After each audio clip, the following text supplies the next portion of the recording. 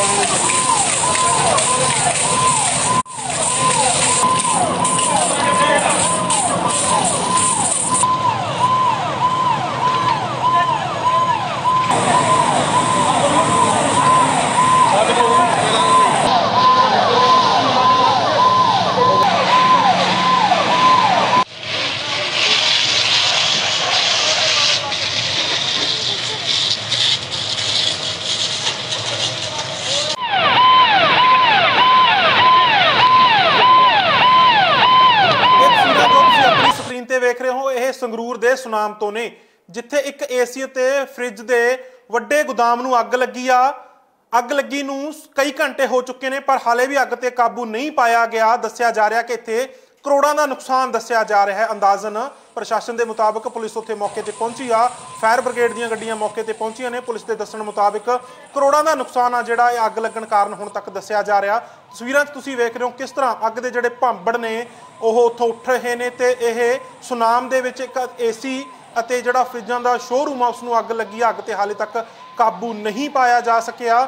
Fire brigade ਉੱਥੇ ਮੌਜੂਦ ਆ। ਪੁਲਿਸ ਪ੍ਰਸ਼ ਪ੍ਰਸ਼ਾਸਨ ਤੇ, ਸਿਵਲ ਪ੍ਰਸ਼ਾਸਨ ਮੌਕੇ ਤੇ ਮੌਜੂਦ ਆ। ਲੋਕਾਂ, ਲੋਕ ਵੀ ਨੇ ਜਿਹੜੇ, ਲੋਕਲ ਉੱਥੇ ਤੋਂ ਲੋਕ ਵੀ ਨੇ, ਉਹ ਵੀ ਪ੍ਰਸ਼ਾਸਨ ਦੀ ਮਦਦ ਕਰ ਰਹੇ ਨੇ, ਅੱਗ ਬੁਝਾਉਣ ਦੇ ਵਿੱਚ ਲੱਗੇ ਹੋਏ ਨੇ। ਪਰ ਦੱਸਿਆ ਜਾ ਰਿਹਾ ਕਿ ਹਾਲੇ ਅੱਗ ਤੇ ਕਾਬੂ ਨਹੀਂ ਪਾਇਆ ਜਾ ਸਕਿਆ। ਹਾਲੇ ਵੀ ਅੱਗ ਤੇ ਕਾਬੂ ਪਾਉਣ ਦੇ ਲਈ ਹੋਰ ਸਮਾਂ ਲੱਗ ਸਕਦਾ। ਤਸਵੀਰਾਂ ਤੁਸੀਂ ਵੇਖ ਰਹੇ ਹੋ ਕਿਸ ਤਰ੍ਹਾਂ ਅੱਗ ਦੇ ਜਿਹੜੇ ਭਾਂਪੜ ਨੇ, ਉਹ ਉੱਠ ਰਹੇ ਨੇ। ਸੁਨਾਮ ਦੀਆਂ ਤਸਵੀਰਾਂ ਨੇ। ਪਿੱਛੋਂ ਜੇ ਕੰਧ ਬੰਨ ਕੇ ਬਸ ਡੰਬਰ ਵਾਲੀ। ਹੋ Thank you.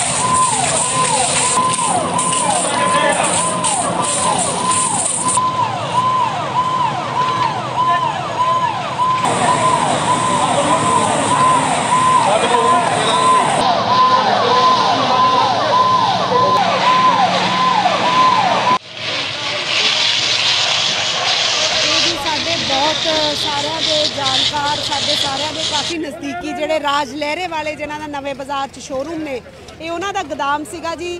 ਬੜਾ ਸਾਡੇ ਨਾਲ ਪਰਿਵਾਰਕ ਰਿਲੇਸ਼ਨ ਹੈ, ਵੱਡਾ ਪਰਿਵਾਰ ਹੈ। ਔਰ ਇਹ ਜਿਹੜਾ ਸਪਾਰਕਿੰਗ ਨਾਲ ਇਹ ਅੱਗ ਲੱਗੀ ਹੈ, ਬੜਾ ਦਰਦਨਾਕ ਇਹ ਜਿਹੜਾ ਹੈਗਾ ਵਾਕਿਆ ਸਾਰਾ ਇਹ ਜਿਹੜਾ ਅੱਜ ਹੋਇਆ ਹੈ।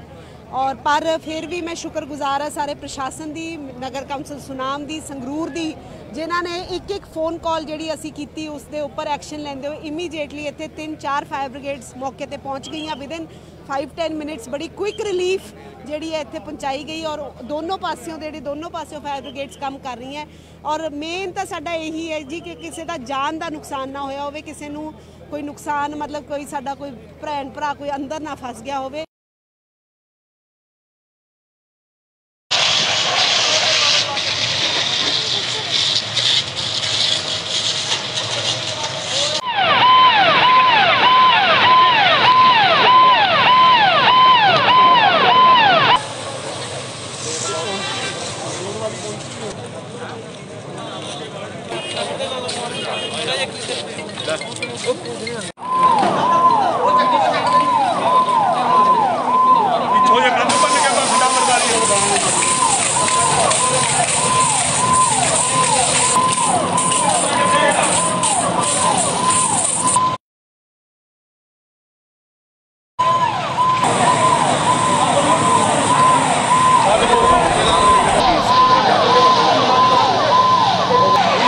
ਅੱਗ ਲੱਗ ਗਈ ਹੈ ਜੀ ਇਹ।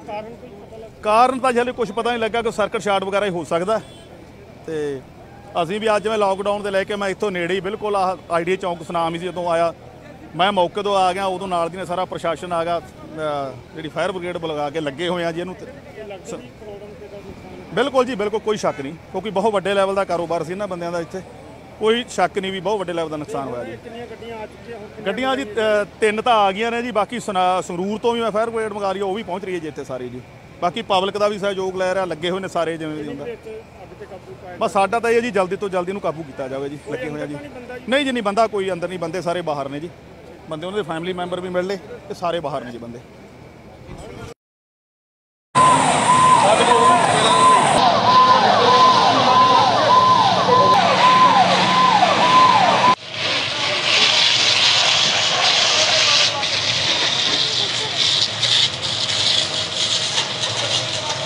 ਸੋ ਖਬਰ ਤੇ ਹੋਰ ਵਧੇਰੇ ਜਾਣਕਾਰੀ ਦੇ ਲਈ ਸੁਨਾਮ ਤੋਂ ਸਾਡੇ ਪੱਤਰਕਾਰ ਵਿੱਕੀ ਭੁੱਲਰ ਸਾਡੇ ਨਾਲ ਜੁੜ ਗਏ ਨੇ। ਵਿੱਕੀ, ਕੀ ਸਥਿਤੀ ਆ? ਤਾਜ਼ਾ ਕੀ ਹਾਲਾਤ ਨੇ?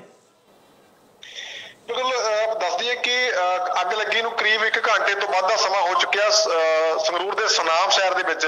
ਗੋਇਲ ਬਾਤ ਨਾਮ ਦਾ ਇੱਕ ਇੱਕ- ਵੱਡਾ ਜਿਹੜਾ ਕਹਿ ਸਕਦੇ ਆ ਟੀਵੀ ਫਰਿੱਜਾਂ ਦਾ ਜਿਹੜਾ ਸ਼ੋਰੂਮ ਹੈਗਾ ਉਹਨਾਂ ਦਾ ਅਹ, ਸੁਨਾਮ ਪਟਿਆਲਾ ਰੋਡ ਦੇ ਉੱਪਰ ਇੱਕ ਗਡਾਊਨ ਸੀ ਜਿਸ ਜਗ੍ਹਾ ਦੇ ਉੱਪਰ ਇਹ ਸਾਰੇ ਅਹ, ਚੀਜ਼ਾਂ ਜਿਹੜੀਆਂ ਸਟੋਰ ਕਰਕੇ ਰੱਖੀਆਂ ਹੋਈਆਂ ਸੀ ਕਿਉਂਕਿ ਹੁਣ ਗਰਮੀ ਦਾ ਸੀਜ਼ਨ ਹੈ ਵੱਡੀ ਗਿਣਤੀ ਵਿੱਚ ਜਿਹੜੇ ਫਰਿੱਜ ਏਸੀ ਐਲਸੀਡੀਆਂ ਵਗੈਰਾ ਜਿਹੜਾ ਉੱਥੇ ਸਾਰਾ ਕੁਝ ਮੌਜੂਦ ਸੀ ਤਾਂ ਅਚਾਨਕ ਉੱਥੇ ਅੱਗ ਲੱਗ ਜਾਂਦੀ ਹੈ ਪਰ 6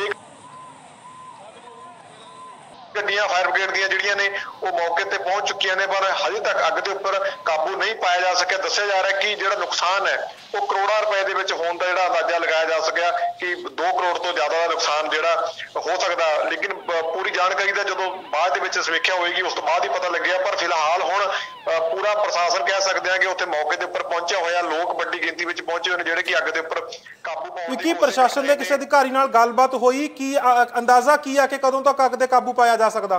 ਫਿਲਹਾਲ ਹੁਣੀ ਸਾਡੀ ਅਹ, ਜਿਹੜੀ ਪੁਲਿਸ ਅਧਿਕਾਰੀ ਨਾਲ ਗੱਲਬਾਤ ਹੋਈ ਤਾਂ ਉਹਨਾਂ ਨੇ ਕਿਹਾ ਕਿ ਅੱਗ ਬੇਹੱਦ ਜ਼ਿਆਦਾ ਲੱਗੀ ਹੋਈ ਹੈਗੀ ਤੇ ਗਰਾਊਂਡ ਕਾਫੀ ਵੱਡਾ ਸੀ। ਇਸ ਨੂੰ ਅਹ, ਕਾਬੂ ਪਾਉਣ ਦੇ ਵਿੱਚ ਹਜੇ ਹੋਰ ਸਮਾਂ ਲੱਗ ਸਕਦਾ ਹੈਗਾ। ਫਾਇਰ ਬ੍ਰਿਗੇਡ ਦੀਆਂ ਗੱਡੀਆਂ ਮੌਕੇ ਤੇ ਪਹੁੰਚੀਆਂ ਹੋਈਆਂ ਨੇ ਤੇ ਨਾਲ ਹੀ ਅਹ, ਜਿਹੜਾ ਇਹ ਗਰਾਊਂਡ ਸੀ ਉਸ ਦਾ ਪਿੱਛੇ ਦੀ ਜਿਹੜੀ ਦੀਵਾਰ ਹੈ ਪਿੱਛੇ ਦੀ ਦੀਵਾਰ ਤੋੜ ਕੇ ਦੋਨਾਂ ਪਾਸਾਂ ਤੋਂ ਅੱਗ ਬੁਝਾਉਣ ਦੀ ਕੋਸ਼ਿਸ਼ ਹੋ ਰਹੀ ਆ। ਵੱਡੀ ਗਿਣਤੀ ਦੇ ਵਿੱਚ ਕਹਿ ਸਕਦੇ ਆ ਲੋਕ ਇਕੱਠੇ ਹੋਏ ਨੇ ਸਮਾਨ ਵੀ ਬਾਹਰ ਕੱਢਿਆ ਗਿਆ। ਕੁਝ ਕੁ ਸਮਾਨ ਜਿਹੜਾ ਤਸਵੀਰਾਂ ਵਿੱਚ ਵੀ ਤੁਸੀਂ ਦੇਖ ਸਕਦੇ ਹੋ ਕਿ ਜਿਹੜੇ ਫ੍ਰਿਜ ਸੀ ਏਸੀ ਵਗੈਰਾ ਜੋ ਹੈਗੇ ਸੀ ਜਿੰਨਾ ਕੁ ਚੀਜ਼ਾਂ ਬਚਾਅ ਹੋ ਸਕਿਆ ਤਾਂ ਉਹਨਾਂ ਨੂੰ ਅਹ, ਬਾਹਰ ਕੱਢਿਆ ਗਿਆ। ਪਰ ਲੇਕਿਨ ਅਹ, ਅਗਰ ਗੱਲ ਕੀਤੀ ਜਾਵੇ ਤਾਂ ਜਿਹੜੇ ਇਹਦੇ ਮਾਲਕ ਨੇ ਉਹ ਹਜੇ ਉਸ ਦੱਸਣ ਦੀ ਸਥਿਤੀ ਵਿੱਚ ਨਹੀਂ ਹੈਗੇ ਕਿਉਂਕਿ ਜਦੋਂ ਐਡਾ ਵੱਡਾ ਨੁਕਸਾਨ ਹੋਇਆ ਹੋਵੇ ਐਡਾ ਵੱਡਾ ਘਾਟਾ ਪੈ ਰਿਹਾ ਹੋਵੇ ਤਾਂ ਉਹਨਾਂ ਦੇ ਹਾਲਾਤ ਤੁਸੀਂ ਸਮਝ ਸਕਦੇ ਹੋ ਕੀ ਨੇ ਫਿਲਹਾਲ ਪ੍ਰਸ਼ਾਸਨ ਆਲਾ ਅਧਿਕਾਰੀ ਨੇ ਜਿਹੜੇ ਵੱਡੇ ਅਧਿਕਾਰੀ ਨੇ, ਉਹ ਸਾਰੇ ਮੌਕੇ ਦੇ ਉੱਪਰ ਪਹੁੰਚੇ ਹੋਏ ਨੇ ਸਨਾਮ ਦੇ ਲੋਕ ਪਹੁੰਚੇ ਹੋਏ ਨੇ।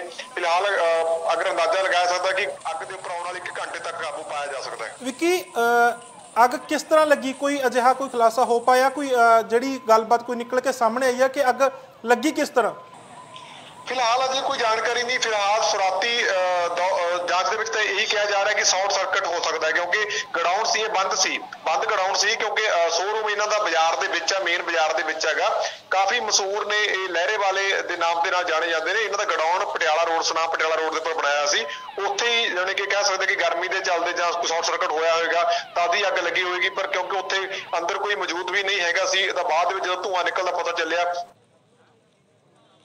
ਤਦ ਲੋਕ ਮੌਕੇ ਦੇ ਉੱਪਰ ਪਹੁੰਚੇ ਨੇ, ਕਿਉਂਕਿ ਅੱਜ ਲੋਕਡਾਊਨ ਵੀ ਸੀ, ਤਾਂ ਪੁਲਿਸ ਨੇੜੇ ਸੀ, ਉੱਥੋਂ ਗਸ਼ਤ ਹੁੰਦੀ ਹੈ ਰਹੀ ਸੀ, ਉਸ ਤੋਂ ਬਾਅਦ ਪਤਾ ਚੱਲਿਆ, ਤਾਂ ਫਿਰ ਜਿਹੜੀਆਂ ਕੋਸ਼ਿਸ਼ਾਂ ਜਾਰੀ ਨੇ, ਫਿਲਹਾਲ ਬਾਕੀ ਜਾਣਕਾਰੀ ਤਾਂ ਬਾਅਦ ਚ, ਪਰ ਸ਼ੁਰੂਆਤੀ ਜਾਂਚ ਦੇ ਵਿੱਚ ਸਿਰਫ ਸ਼ਾਰਟ ਸਰਕਟ ਹੀ ਦੱਸਿਆ ਜਾ ਰਿਹਾਗਾ ਜੀ ਜੀ, ਬਹੁਤ ਧੰਨਵਾਦ ਵਿੱਕੀ।